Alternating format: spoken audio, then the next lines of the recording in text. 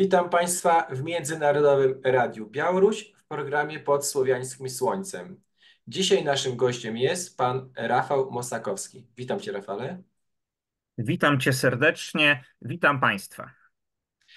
Tematem naszej rozmowy będzie obecna sytuacja związana, ja bym powiedział, z niestety zbliżającą się to dużymi krokami wojną. Jest to temat niezwykle aktualny, gdyż w naszym interesie, w interesie nie tylko Polaków, ale wszystkich narodów tutaj w Europie Środkowo-Wschodniej jest to, aby nie dopuścić do tej wielkiej wojny, gdyż dla nas, dla naszych narodów może być to niestety jedna z ostatnich, a może naprawdę ostatnia wojna. Więc powinniśmy zrobić moim zdaniem wszystko, aby do tego nie dopuścić.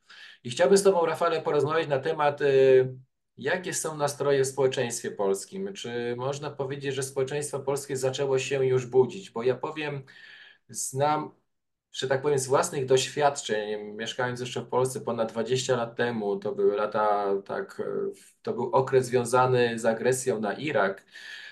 Powiem, że byłem na manifestacji takiej w Warszawie, antywojennej. To było jeszcze przed wojną zanim wybuchła i powiem, że mobilizacja jednak społeczeństwa polskiego była znikoma, ale to bardzo znikoma. Ale co ważne, muszę powiedzieć, że były już wtedy na tej manifestacji osoby, które reprezentowały skrajnie odmienne poglądy polityczne. Bo powiem tak, nie było tam tylko osób, które reprezentowały jakąś tam opcję lewicową, może skrajnie lewicową, ale ja również spotkałem i muszę to zaświadczyć, że spotkałem tam osoby związane z Radiem Maryja. I ja myślę, że właśnie to droga dla naszego narodu polskiego, że powinniśmy ponad podziałami jednak w tym kierunku się zjednoczyć, aby jednak nie dopuścić do tego konfliktu. Jak uważasz, jakie są obecnie nastroje w społeczeństwie polskim? Czy w ogóle Polacy są świadomi tego, konfliktu, który może ich nie wkrótce, bardzo wkrótce dotknąć? Ja myślę, że Polacy e, są coraz bardziej świadomi. Ja nie twierdzę, że ta świadomość jest e, powszechna. E, ja myślę, że jeszcze trzeba nad tym pracować. Ja sam się różne mm, działania pokojowe czy antywojenne angażowałem. E, pamiętam e, w roku 2016 e, było instalowanie kolejnych oddziałów armii amerykańskiej w Polsce i wtedy razem z pobudką Grzegorza Brauna organizowaliśmy w kilku miastach Polski takie wiece anty, antywojenne de facto antyamerykańskie, bo wtedy tak zwany odbywał się rajd dragonów. Jednostki y, pancerne armii amerykańskiej wjeżdżały do Polski z terenu y, Czech. Y, w Czechach też były protesty przeciwko tym kolumnom amerykańskim. Ja pamiętam, że Grzegorz Braun tam z Romanem Fritzem, ze Stań z Włodzimierzem Skalikiem robili akcję chyba w Katowicach e, przeciwko tej kolumnie amerykańskiej. Ja e, postanowiłem, bo była zapowiedziana wizyta tej kolumny w Lublinie i tam pod Zamkiem Lubelskim pojawiliśmy się z transparentami właśnie, że sobie nie życzymy obecności wojsk amerykańskich, że dla nas to oznacza wpychanie Polski do wojny, E, no i tam były takie hasła właśnie e, w pewnym sensie też probiałoruskie, że nie chcemy wojny z Białorusią, że chcemy dobrych e, relacji i tak dalej. Co gorsza, ten, no właśnie, pytasz, jakie są nastroje. Wtedy tych nastrojów takich proamerykańskich było więcej, teraz jest pewnie trochę mniej, ale co nie znaczy, że w ogóle ich nie ma. E, zaangażowano w to grupę rekonstrukcji historycznej y, polskiej kawalerii. Ze względu na to, że e, to wjeżdżała amerykańska e, kawaleria, oczywiście nie na koniach, tylko na transporterach opancerzonych, ale mieli te tradycyjne kapelusze, których używali używała kawaleria amerykańska mm, jeszcze na przykład w XIX wieku. No i e, na koniu wyjechał taki kawalerzysta z tej grupy rekonstrukcji i witał tych Amerykanów. I wtedy ja z takim megafonem w ręku podszedłem do tego kawalerzysty, stanąłem koło tego konia, gdzie on, na którym on siedział i składał ten raport i krzy zacząłem krzyczeć, że to hańba, że nie chcemy wojny, że e, obecność wojsk amerykańskich to jest nowa okupacja e, i że ten. No i wtedy oczywiście e, ci organizatorzy, e, Amerykanie byli trochę zaskoczeni, ten e, przerwał swoje przemówienie, ten na koniu. Jeszcze w kilku miejscach na internecie jest to podkazane. Tytuł najczęściej jest Samotna e, akcja czy samotna interwencja Rafała Mosakowskiego pod zamkiem w Lublinie. To chyba było w Dzień Dziecka, czyli to był prawdopodobnie 1 czerwca 2016 e, roku. No i potem mm, jest na tym filmie zresztą widoczne, że organizatorzy ze strony polskiej wezwali żandarmerię wojskową, policję, Mm, oddali mnie w ręce policji. Ja powiedziałem, że my tu mamy zarejestrowane przez miasto Lublin e, e, legalną demonstrację pokojową i że e, nie słyszałem, że obecność wojsk amerykańskich i ich zwolenników pod Zamkiem Lubelskim jest jakoś zarejestrowana i faktycznie oni chyba tego oni, byli, oni się czuli tak pewni, że Amerykanie, jak wjeżdżają do Polski, to mogą wszystko robić, że nawet tego nie zarejestrowali. Czyli w tym momencie policjanci mm, e, sprawdzili, zasolotowali, powiedzieli: No tak, ma pan prawo tutaj być i ma pan prawo wyrażać swoje poglądy, natomiast no, chcą rozdzielić, żeby nie doszło do jakichś, e, jakichś nieprzewidzianych e, sytuacji, więc tak, tak, tak, tak to, mm, tak to wtedy mm, wyglądało. Co do jeszcze moich zaangażowań, to jeszcze powiem, że w roku 2022, mm, czyli dwa lata temu, e, na początku marca, e, czyli powiedzmy dwa tygodnie po rozpoczęciu specjalnej operacji wojskowej na Ukrainie, e, wiec pokojowy mm, zorganizowali rodacy kamraci z Warszawy nie było wtedy mm, przywódców tego ruchu, ponieważ siedzieli wtedy w więzieniu po demonstracji w e, Kaliszu. Natomiast e, zjechało się dosyć dużo e, ludzi z całej Polski. Ja też na tym, na tym mm, zgromadzeniu przemawiałem i główną tezą mojej wypowiedzi było to, że to nie jest nasza wojna że po prostu ktoś chce nas wepchnąć w y, nie naszą wojnę e, i e, mm, e, ekonomia krwi, która zawsze była ważna, na przykład w polskim obozie narodowym, żeby nie iść tam i nie przelewać krwi tam, gdzie po prostu nic z tej ofiary polski interes narodowy mm, nie skorzysta. No, to przemówienie też E, jest jeszcze w jakichś najróżnych kanałach. Mój kanał, co prawda, został e, zlikwidowany i to przemówienie umieszczone na centrum edukacyjnym e, zniknęło, ale, ale jeszcze w różnych miejscach, jak się poszuka, to przemówienie to był chyba, nie wiem, 10 czy 13 marca 2022 roku. Ono powinno mm, tam być. Jeszcze niedawno je gdzieś widziałem. Natomiast pytasz w ogóle o środowiska. No, tu się niewiele zmieniło od tamtej demonstracji. To znaczy, środowiska, które się angażują w różne poczynania antywojenne czy pokojowe, e, co wbrew pozorom, e, myślę, że też nad tym trzeba się zastanowić. Czy tu trzeba bardziej e, ten program negatywny podkreślać, że jesteśmy przeciwko wojnie, czy pozytywny, że zależy nam na jakimś pokoju, a pokój, wiadomo, to jest pewna konstrukcja, to jest pewna budowla, pokój się buduje, prawda? E, wojna burzy, pokój buduje, więc po prostu e, budowanie musi być na jakimś fundamencie. I tutaj, e, jeżeli mnie by interesowało, mm, mm, właśnie jakieś działanie, to bardziej e, właśnie działanie pokojowe, żeby pokazać, jaki pokój powinniśmy budować, a nie tylko taki prost, prosty protest przeciwko wojnie, bo z prostego protestu przeciwko wojnie e, niewiele, e, nieraz niewiele wynika. To jest takie bardzo doraźne, to jest pewien strach właśnie, żebyśmy nie ponieśli niepotrzebnych i zbyt dużych strat. Natomiast no, tutaj trzeba zawsze y, mówić o pokoju, tego jestem zwolennikiem, e, o mm, e, e, pokoju, pokoju na czym on się ma opierać, na jakich zasadach.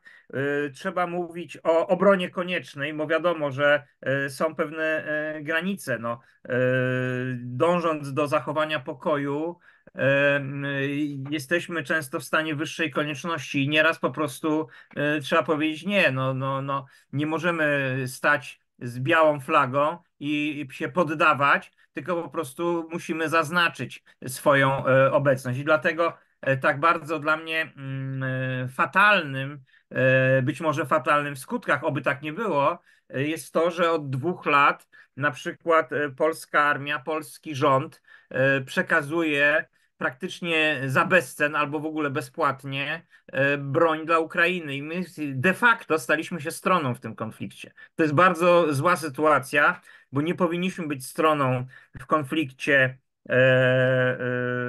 który się rozgrywa na terenie Ukrainy. Powinniśmy zachować dystans do obu stron tego konfliktu. Takie jest moje, moje zdanie. A jeżeli Polska dostarcza broń jednej ze stron, no to już przestaje być e, takim e, jak gdyby stojącym z boku. Tym bardziej, że ta broń może się nam okazać potrzebna w momencie, kiedy by ten konflikt rozlewał się poza terytorium obecnej, obecnej Ukrainy. Myślę, że ta świadomość wagi pokoju, ta świadomość niebezpieczeństwa wojny rozszerza się, chociaż jeszcze e, nie tak szybko i nie tak szeroko, jakbyśmy e, tego e, chcieli. No i tu właśnie nazwisko Grzegorza Brauna też bym podkreślił, bo to jest człowiek, który, tak jak mówiłeś, na tym wiele lat temu spotkałeś i przedstawicieli środowisk lewicowych, ale też środowisk prawicowych, katolickich, narodowych, na tej demonstracji, tu się nic nie zmieniło. E, na, tych, na tego typu demonstracjach właśnie ludzie z różnych środowisk, z różnych opcji politycznych, z różnych, jak to się mówi, stron sceny politycznej e, się spotykają. E, mm, w wielu miejscach po prostu mówią jednym głosem. Chociaż wiadomo, że tu mogą być, e, jak się wejdzie w szczegóły, e, pewne, pewne różnice. Natomiast no, sytuacja nas do tego zmusza, bo jeżeli, jeżeli ktoś Polskę sprowokuje i wprowadzi do wojny z sąsiadami, no to nikt na tym nie zyska, a wszyscy mogą stracić. Czy obawiasz się właśnie, że te nastroje znowu z drugiej strony prowojenne nie przeważą tego rozsądku, który powinien być e, wśród Polaków? Jest takie e, nastawienie wielu osób, że e, atak ze strony Rosji jest kwestią czasu i jest to takie bezalternatywne, rusofobiczne twierdzenie, że jeżeli my do tej wojny nie przystąpimy teraz po stronie Ukrainy, to ta wojna e, i tak do nas przyjdzie ze strony Rosji. Przede wszystkim jest to kłamstwo, bo e, e, kłamstwo i brak wszelkiej logiki, ponieważ zawsze przed każdym konfliktem wszystkie strony tego konfliktu stawiają sobie jakieś cele, deklarują. Ja nie słyszałem od kilkudziesięciu lat e, wypowiedzi, że Rosja ma e, jakiś interes i ma jakiś e, cel w zaatakowaniu Polski. I dlatego moim zdaniem teraz mm, tworzenie takiej sztucznej sytuacji, takiej sztucznej narracji, że celem polityki rosyjskiej, co gorsza, celem, nie wiem, inwazji rosyjskiej ma być również Polska, no to moim zdaniem jest bardzo niebezpieczne. To podżegacze wojenni, im zależy na tym, żeby w ten sposób mówić, natomiast to nie, nie ma to pokrycia mm, w rzeczywistości. Zresztą nawet sytuacja na Ukrainie, pamiętajmy, że jest przekazywana w wypaczonej wersji. Tam się twierdzi, że wojna na Ukrainie zaczęła się w 2022 roku atakiem ze strony e, Rosji, z terytorium Rosji, z terytorium Białorusi na mm, miłujące pokój e, państwo ukraińskie. Oczywiście jest to bzdura, jest to kłamstwo, e, bo pamiętajmy, że ta wojna zaczęła się już 10 lat temu.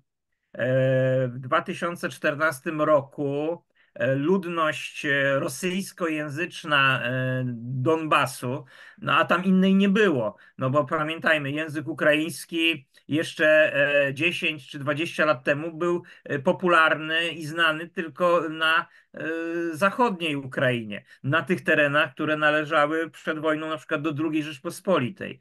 Na całej mm, środkowej i wschodniej Ukrainie jedynym językiem, który, e, którym się tam od, od, od zawsze ludność posługuje, to jest język rosyjski. No ale w momencie, kiedy e, właśnie rząd w Kijowie w ramach ukrainizacji Donbasu, w ramach ukrainizacji e, wschodniej Ukrainy zaczął zwalczać język rosyjski, i, y, I to nie jest jakaś mniejszość narodowa, to jest, to jest po pierwsze większość, po drugie to nie są ludzie napływowi, to, są, to jest ludność, która tam mieszkała od wieków. Ludność języ, rosyjskojęzyczna to jest część, jak to się mówi, ruskiego miru. E, e, do, do tego ruskiego miru równie dobrze należy ludność e, Donbasu, jak i w zasadzie cała ludność Ukrainy, Białorusi, no i oczywiście Rosji. To kiedyś były naczynia połączone, to były terytoria, na których przede wszystkim obowiązywał i był używany język rosyjski, a także terytoria, gdzie dominowała wiara prawosławna. E, o sprawach wiary to może jeszcze przy innej okazji porozmawiamy, bo to są ważne rzeczy. E, natomiast teraz mówimy o tych sprawach pokojowych i międzynarodowych. No to jest bzdura, że e, Rosja dokonała inwazji na Ukrainę, ponieważ to miejscowi ludzie, obywatele Ukrainy, weszli w ostry spór z e, Kijowem, broniąc swoich praw do języka swojego ojczystego, a tym językiem ojczystym jest język ukraiński. E, oczywiście pojawili się z czasem e, tak zwane zielone ludziki.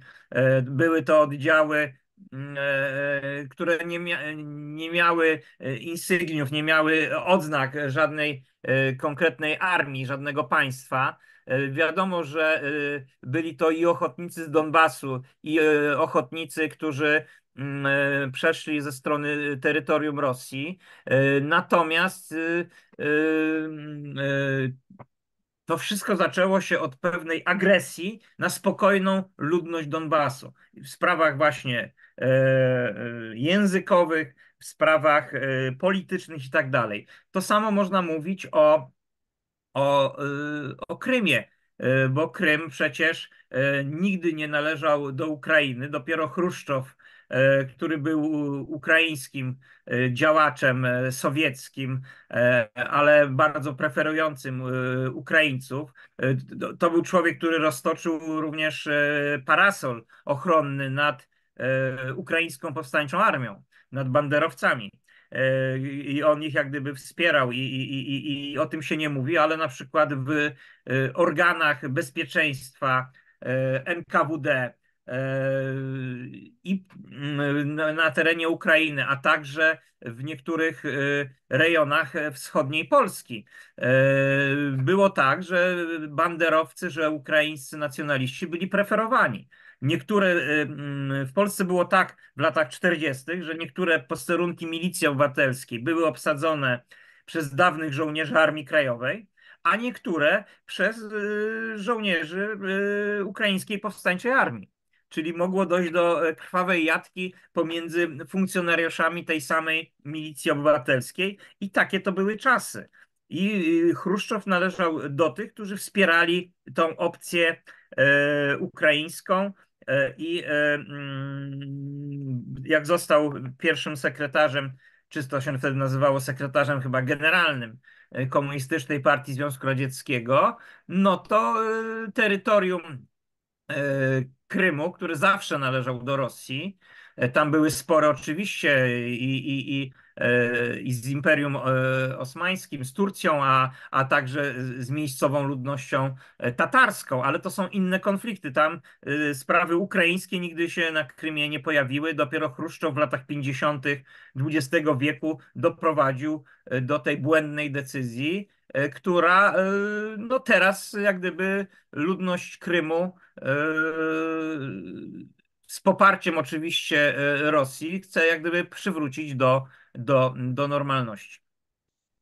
Wracając do sytuacji już w Polsce i osób, e, które są za pokojem przeciwko wojnie, czy nie mamy też również takiego e, w tym momencie do czynienia z jakimś przekłamywaniem, totalnym odwracaniem sytuacji, bo osoby, które są za pokojem, przeciwko wojnie, są prześladowane przez aparat państwa, a osoby, które nawołują, no, podżegają do wojny dzień w dzień, są przez aparat państwa chronione. No przecież y, jasno jest wyraźnie napisane w Konstytucji Rzeczpospolitej Polskiej, że przecież nawoływanie do wojny jest y, przestępstwem. I jak to jest, że to państwo zostało, mówię, że to prawo zostało tak o 180 stopni przeinaczone, że osoby, które mówią o pokoju, są ciągane po sądach, e, przesłuchiwane przez prokuratorów, e, e, gdzieś trafiają do aresztów. No tutaj jest taka jedna chyba taka organizacja w Polsce, taka dosyć bardzo aktywna na tym tle. Mam na myśli ośrodek monitorowania zachowań rasistowskich i ksenofobicznych. E, z tego co wiem, sam jesteś również ofiarą tych prześladowań. Co mógłbyś powiedzieć na ten temat? No, niestety tego typu ośrodki, e, e, one, że tak powiem, korzystają z tego przyzwolenia. No, przy tym całym amoku prowojennym, jaki się wlewa do Polski z zachodu. E, e, oni, oni mają swoje żniwa w tej chwili, prawda? Jest to o tyle dziwne, że oni uważają, że miłująca pokój Ukraina zasługuje na nasze wsparcie.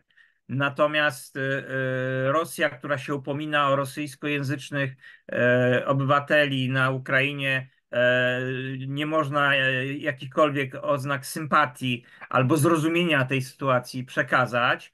E, no jest to wszystko postawienie na głowie.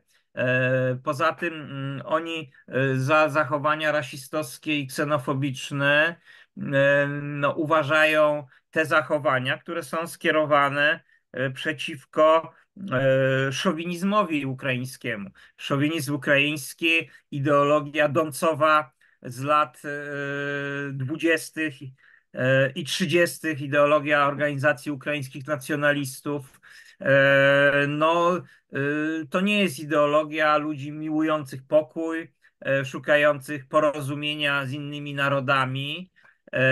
To jest właśnie ideologia mm, ksenofobiczna, pewnie w naszej części też rasistowska, bo w końcu ofiarami szowinistów e, ukraińskich padali nie tylko mm, Polacy, ale także Ormianie, Żydzi i sami Ukraińcy, którzy się przeciwstawiali tej ideologii, byli, byli przez OUN, UPA mordowani. O tym trzeba mówić, bo po prostu to jest część tej historii trudnej, krwawej, bolesnej, ale o tym trzeba mówić. Jeżeli e, kiedykolwiek e, mm, miałoby e, nastąpić zbliżenie stanowisk pomiędzy no, rozdartą w tej chwili Ukrainą, tą wschodnią Ukrainą, prawda, i południową, czyli tymi regionami, które zostały przyłączone do Federacji Rosyjskiej, a, a, a resztą Ukrainy, no to niestety o tych sprawach trzeba spokojnie, bez emocji, merytorycznie, historycznie, czyli też naukowo rozmawiać i dochodzić do pewnego konsensusu. No, jeżeli chodzi o y, polskie środowiska, no to one również na tle relacji właśnie z Rosją, z Ukrainą, z Białorusią, no częściowo też są podzielone. Tu różne są akcenty. No, są tacy, którzy walczą o pokój, E, mm, e, z pobudek właśnie religijnych. Tak jak wspominałeś, e, przedstawiciele Radia Maryja byli na demonstracjach. Są tacy, którzy walczą z pobudek czysto takich narodowych, tak na, jak na przykład kamraci. Są tacy, którzy mają inklinacje lewicowe albo nawet lewackie trudno się zgodzić z takimi ludźmi, którzy e, jakieś skrajnie ideologiczne pomysły, lewicowe, lewackie, e, chcą pogodzić z walką o pokój. Lepiej, jakby te sprawy zostały rozdzielone, ale to e, powoduje, że mm, w środowiskach tych antywojennych no też są wyraźne podziały. Przecież słynna była rok temu sytuacja, kiedy tak zwany polski ruch antywojenny w zasadzie się rozpadł. E, bo e, dwie albo trzy główne postacie w tym ruchu, e, no okazało się, że jest im nie po drodze ze sobą. Bo mm, do tego głównego postulatu walki o pokój, do tego głównego postulatu antywojennego, E, dołączano mm, postulaty, które e, no, były już e, no, kontrowersyjne, były, powodowały kolejne, w tym momencie niepotrzebne, niepotrzebne podziały. Nad tym trzeba pracować, nad tym trzeba reflektować, o tym trzeba wiedzieć, no bo niektórzy są zaskoczeni. Walczycie o pokój, a a już nie współpracujecie z tą czy z tą osobą. No, są różne mm, historie e, ludzkie i są różne motywacje, dla których ludzie no, nie mogą ze sobą współpracować. No. E, więc e, tu można by wchodzić w szczegóły, może nie, może nie w tym odcinku i może nie warto w te szczegóły mm, wchodzić, ale, ale podziałów jest bardzo, bardzo, bardzo wiele. W samym kościele są duże podziały, no bo wiadomo, że mm, jest taki nurt mm, modernistyczny w kościele, e, dla którego głównym e, guru e, w tej chwili, no niestety postać Jana Pawła II i jego następcy z Franciszkiem i ale oni po prostu w wielu miejscach, na przykład tak jak Jan Paweł II, e, jak jest w tej chwili sprzedawany, że to jest człowiek, który obalił komunizm. Dla mnie e, zasługą papieża e, to jest człowiek, który dobrze służył Kościołowi, bronił wiary, no, apostołował i tak dalej. To są zasługi. Jeżeli zasługą papieża jest to, że obalił komunizm, to jest jakieś nieporozumienie, bo to nie jest rola E, głowy kościoła, żeby obalać ten czy inny ustrój, tylko e, żeby mm, prowadzić e, działalność religijną.